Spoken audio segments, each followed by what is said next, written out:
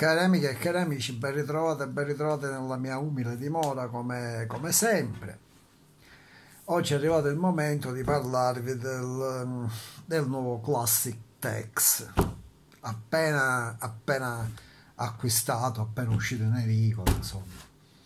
Il numero in questione è il numero 59, La danza degli spettri. Ecco, sempre vi mostro la costina nonché il retro la quarta con la presentazione del prossimo, del prossimo numero il numero 60 che sarà in edicola eh, diciamo il 7 giugno quindi altri, altre due settimane passeranno prima di poterlo avere tra le mani e metterlo in cascina come tutti gli altri altri. Comunque, mm, anche, anche, in, quest'albo sono contenute le classiche sei storie, sei, sei albi a striscia. Eh, ovviamente il, soggetto, la sceneggiatura sono di Gianluigi Bonelli e i disegni di Aurelio Galleppini, il, il grande Galep. Mm. Io, eh, per quanto riguarda quest'albo, mentre eh, diciamo Frediani della rubrica iniziale eh, che vedete in seconda di copertina eh, si attarda a parlare diciamo del, mm, eh, del, del, del, ovviamente per fare un po' di pubblicità ci sta eh, dell'ultimo volume le copertine di Tex gigante mh, mm, quelle che vanno dal 2000 al 2018 e, ehm, e, il mio interesse si è soffermato su qualcos'altro. Però prima di, prima di parlarvene vi illustro brevemente diciamo, il contenuto dell'albo ehm, che praticamente prosegue la storia iniziata dal numero precedente mm, e, ehm, e, in questo numero già dal primo diciamo dal, dal primo album in cui il titolo è La, la traccia eh, di sangue ehm, i, i, nostri eh, praticamente eh, si dirigono, um, si mettono sulle tracce di um, i nostri, cioè Tex, eh, Kit Wheeler e Kit Carson, sulle tracce di Quantrill, un ex generale sudista, attenzione, che eh, si è dato al traffico d'armi rubate eh, a questo punto oh, questo Quantrill, dopo essersi impadronito di 2000 fucili destinati all'esercito, eh, medita di venderli ad alcune tribù indiane che con quelle armi moderne eh, potrebbero scatenare una vera e propria guerra. Eh, per impedire il peggio, i tre Pars dovranno fare ricorso insomma, ad ogni astuzia insomma, e, e, e a quant'altro come, se, come, tutti noi siamo abituati a, ad osservare specialmente nelle vecchie storie di Bonelli e Gallup gli albi in questione ripeto sono, sono sei albetti a striscia il primo è la traccia di sangue vi ho già mostrato diciamo l'inizio ve li mostro tutti perché mi pare giusto farlo. Il secondo è prendeteli vivi ecco qua. Andiamo a, a visionare il terzo. Il terzo albo striscia è la danza degli spettri che è quello che dà eh, diciamo il titolo all'intero albo andiamo avanti e arriviamo al, al quarto. Un incontro fortunato. Eccoci.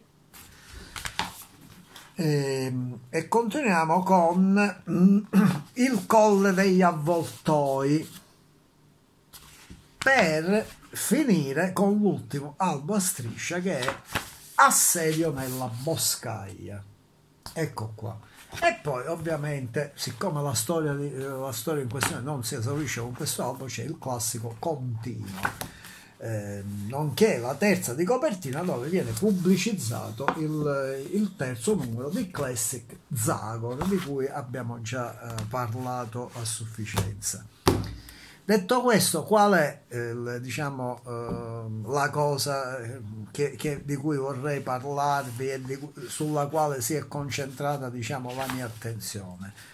E ora ve, ve la mostro subito. Mm, la cosa è questa, a un certo punto um, in, in, della storia, diciamo nella, nel primo alba striscia, la traccia di sangue, vedrete i nostri um, che sono diciamo in cima ad una collina. Um, e, e, e Carson dice, ehi Tex, guarda laggiù, cavalleria sudista.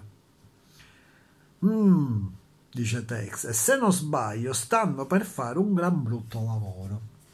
Attenzione che su questa collina ci sono Kit Carson, Tex e Kit Wheeler, ancora adolescente, diciamo sedicenne, su per giù.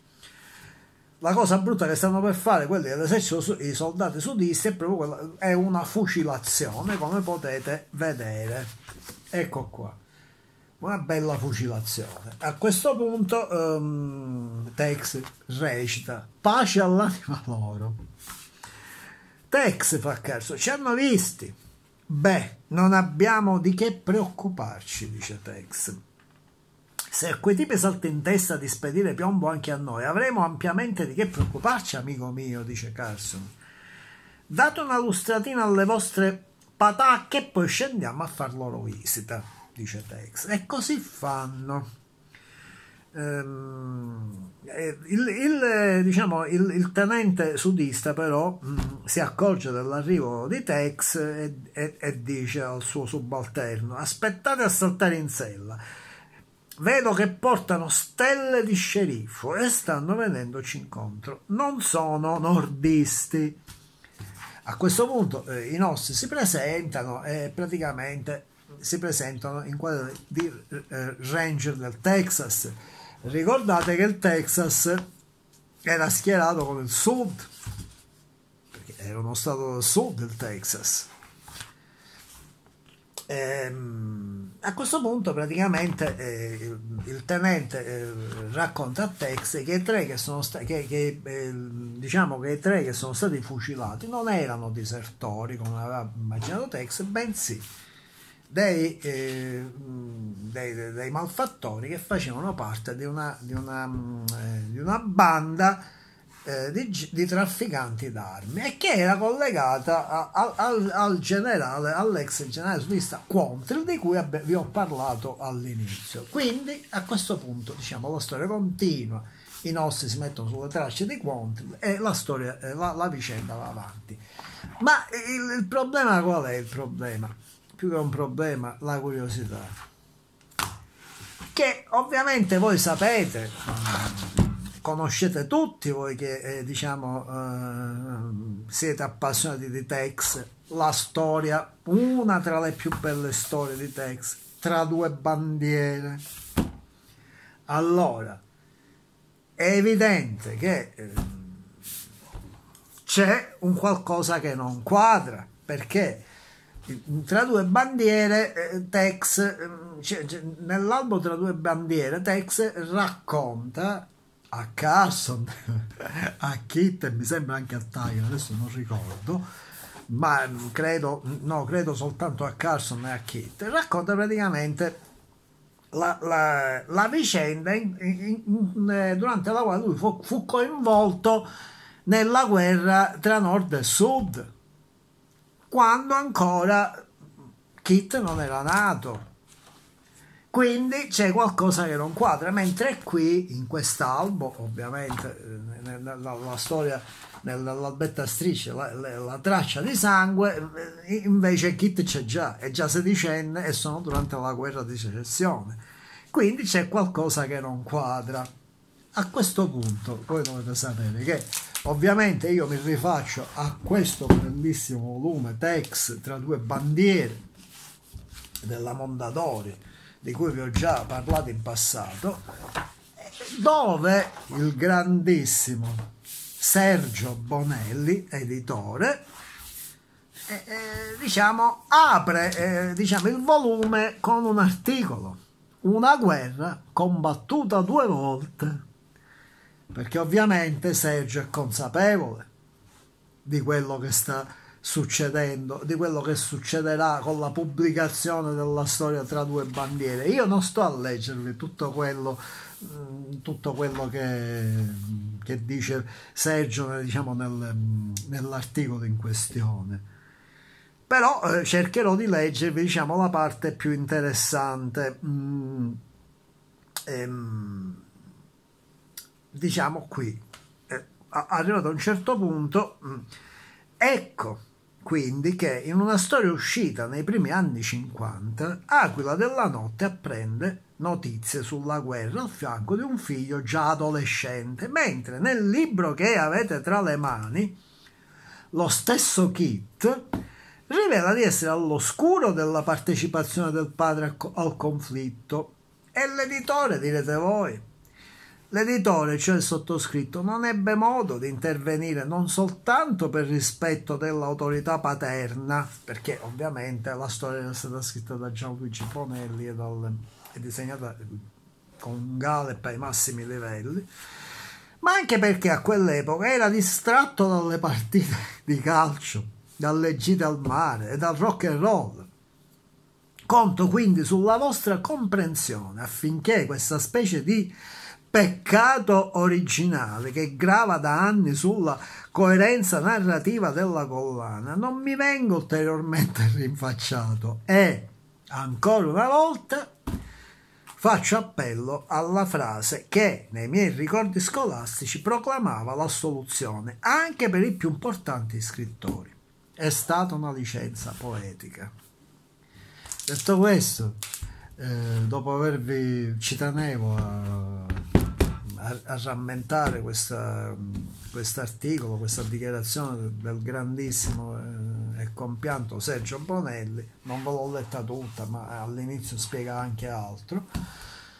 Quindi ci tenevo a, a leggervi lo stralcio finale perché è una cosa che mi è sempre rimasta impressa, eh, questa, questa discrasia fra, diciamo, perché io avevo iniziato a leggere diciamo già un po' avanti avevo recuperato la lettura di Tex e quindi quando arrivai poi a, a, a leggere Storia delle bandiere rimase un po' così perché mi ricordavo benissimo che Tex e, e, i suoi parzi avevano partecipato dal vivo tutti e tre alla guerra di secessione anche se ne restarono immagini mentre nel racconto tra due bandiere Tex è addirittura coinvolto personalmente addirittura muore il suo amico diciamo insomma è una cosa un po' però evidente, eh, eh, quindi è stato giusto leggervi quello che, eh, di cui, eh, che ha dichiarato Sergio in questo articolo di presentazione del bellissimo volume della Mondadori Tex tra due bandiere.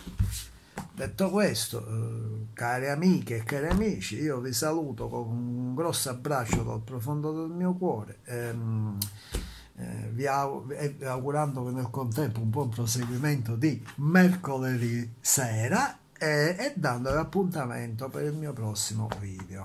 Alla prossima!